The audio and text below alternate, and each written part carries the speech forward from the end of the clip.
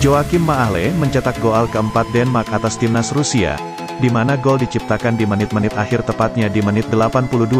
Dengan gol yang diciptakannya membuat timnas Rusia menang besar 4-1 atas timnas Rusia untuk sementara ini.